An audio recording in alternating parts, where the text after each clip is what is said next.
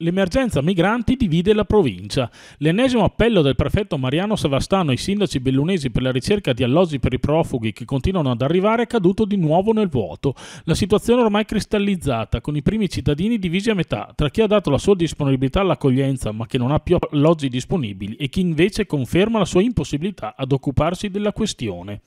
Lo stallo, con i centri di accoglienza straordinari ormai al completo, ha il risultato di far salire la tensione tra gli amministratori.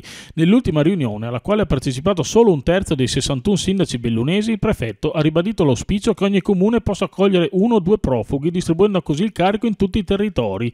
Ma chi finora ha fatto la sua parte e non ha più alloggi disponibili fatica a nascondere l'insofferenza verso gli omologhi che ne se ne stanno tirando fuori.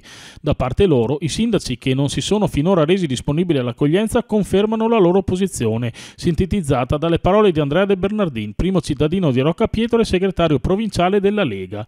In democrazia democrazia, le parole di De Bernardin, un sindaco può decidere cosa è meglio per la sua comunità e sul tema dell'accoglienza ai migranti i primi cittadini devono poter decidere.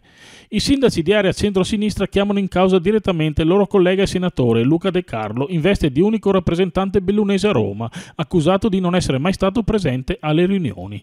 Il coordinatore regionale di Fratelli d'Italia per ora non risponde alle accuse.